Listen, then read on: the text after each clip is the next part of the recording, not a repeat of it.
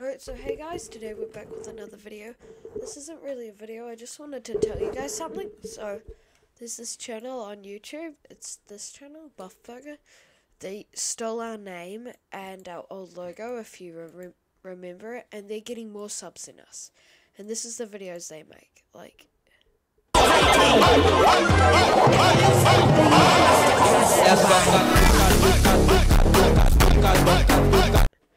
and then and then the date is different because he started after me um 15th of october 2022 and then mine